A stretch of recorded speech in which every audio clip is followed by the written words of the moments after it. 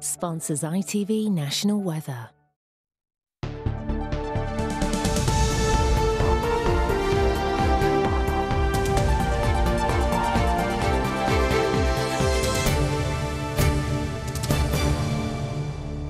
Good evening and welcome to UTV Live. And we start with breaking news tonight. A man in his 20s has appeared in court charged with the murder of three siblings in Dublin. 24 year old Andy Cash of Rossfield Avenue in Tallaght is accused of the murder of 18 year old Lisa Cash and her 8 year old twin siblings Christy and Chelsea Cawley at their home on Sunday. Appearing before a special sitting of the Dublin District Court tonight, Cash replied no comment to each charge. He was remanded in custody to appear back in court this Friday. Liz Truss has been confirmed as the next Prime Minister after a lengthy contest against Rishi Sunak.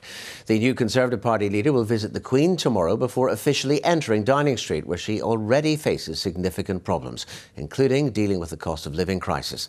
The leaders of Sinn Féin and the DUP have already requested to meet Ms Truss, who must also deal with the Northern Ireland Protocol and get Stormont back up and running. Here's our political correspondent, Vicky Hawthorne. Liz Truss is elected as the leader of the Conservative and Unionist Party. We'll come up on in the end, the Conservative Party leadership contest delivered no surprises. The front-runner throughout, Liz Truss, will replace Boris Johnson as the next Prime Minister. Her victory speech had few surprises either. During this leadership campaign, I campaigned as a Conservative and I will govern as a Conservative. Because, my friends, I know that we will deliver, we will deliver, we will deliver. Belfast street art has already been updated to reflect the result. The Northern Ireland Protocol and the lack of a functioning executive are now among the serious problems Liz Truss must wrestle with. There are calls for the incoming Prime Minister to listen to all the political parties at Stormont.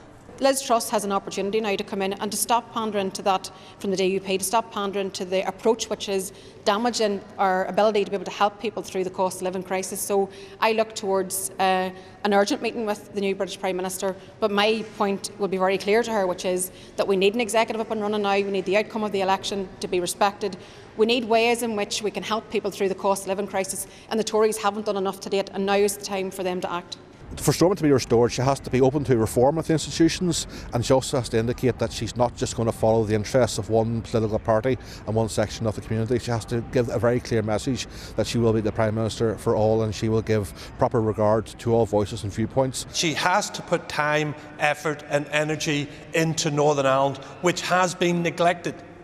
They need to find solutions, and those solutions must help us get our executive back up and running again, because every single day we do not have an executive, our people are suffering. The Stormont opposition party wants the Prime Minister to start negotiations with the EU on the protocol and a plan for dealing with energy costs. But what she has to do immediately is recognise that there's an emergency in terms of people's uh, household bills and she needs to act urgently. And should, she should not be allowing big oil and gas companies to get away with massive profiteering during this crisis. All the political parties here want the new Prime Minister to take immediate action to help people manage the spiralling increase in the cost of living.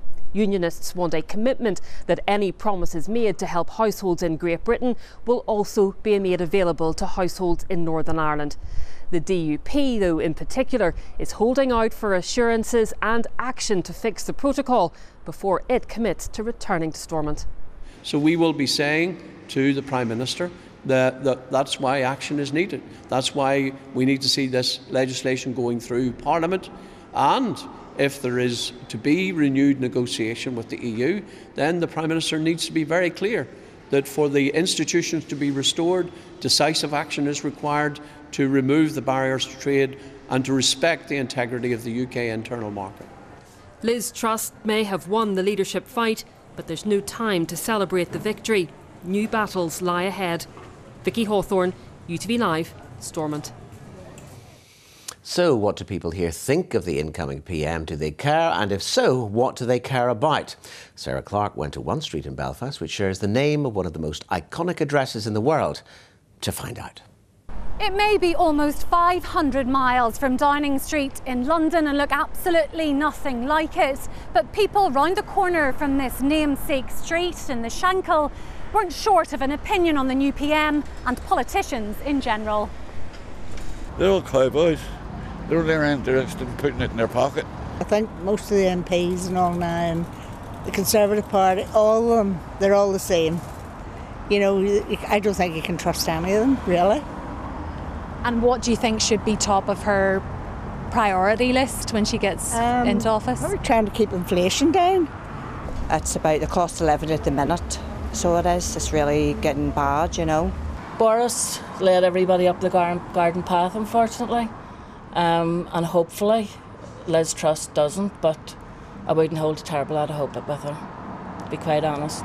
And what would your message be to her as she starts her tenure in that role? Well, regarding Northern Ireland, I would just like her to step in here. Um, I know she has promised to sort out the, the protocol, but again, you know, is our problems all to do with the protocol? I don't think so. As long as she looks after the panthers, everything will be all right. And what about the protocol? How important is that for people here? I, I don't know much about the protocol of honestly. You know, but them one, Jeffrey Donaldson, he'd do a good job. You know, as long as they keep it, as long as they keep out there flying high as the main point,